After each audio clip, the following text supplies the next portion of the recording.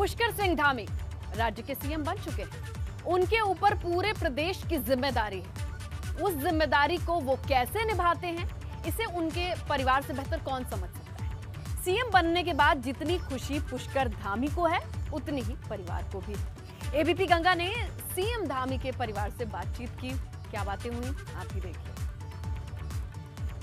ये उत्तराखंड के लिए गौरव की बात है कि एक नए मुख्यमंत्री के तौर पर पुष्कर सिंह धामी ने शपथ ली है और युवा चेहरा हैं और आगे उनके लिए कुछ चुनौती ज़रूर होंगी, लेकिन वो उन चुनौतियों को कैसे पार पाते हैं ये भी देखने वाली होगी। लेकिन उससे बड़ी बात यह है कि हमारे साथ उनकी धर्मपत्नी गीता धामी जी हैं। उनसे हम बात करेंगे कि उन्हें कब पता लगा कि उनके पति मुख्यमंत्री की पद की शपथ लेने वाले हैं। मैडम, स्वागत है आपको ए गंगा पे और बहुत बधाई पहले तो आपको। कैसे पता लगा? देखिए जैसे डेली की तरह चल रहा था सभी कुछ और न्यूज़ के माध्यम से ही हमें पता चला था।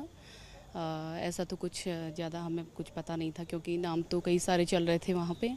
और न्यूज़ के माध्यम से ही पता चला था। एक इच्छा होती है कि कभी थोड़ी सी सुखबुहाट होती है तो पता लग जाता है कि एक घर में एक बहुत बड़ा कोई आदमी है तो वो बड़े पद पे जाने वाला है। तो पहले कुछ ऐसी सुखबुहाट थी क्योंकि दो बार के विधायक भी हैं कभी एहसास हुआ हो आपको कि पति इतने बड़े पद पर जा रहे हैं? देखिए जिस प्रकार से धामी जी का संघर्ष है और जो भी आज तक उनको दायित्व मिला है, जो भी पदभार मिला है, उस पर उन्होंने बखूबी अपने जिम्मेदारियों को निभाया है और जिस प्रकार से वो संघर्ष करते हैं बहुत मेहनत करते हैं वो और बहुत सारे कार्य किए हैं उन्होंने अपने विधानसभा में और उससे पहले भी जो भी जिम्मेदारियाँ मिली थी, उसमें भी उन्होंने जो है जिम्मेदारियों से ऊपर उठ करके कार्य किए थे।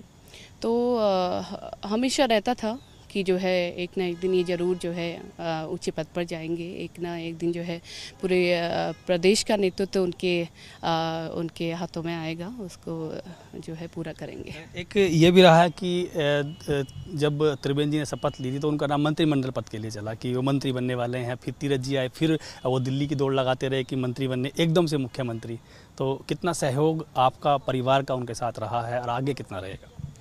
देखिए नाम तो क्योंकि पहले से ही चलता आया है और सभी को उनकी योग्यता में, उनकी उनकी मेहनत में, उनके संघर्ष में, उनकी कार्य करने की शैली पर पूरा विश्वास रहा है।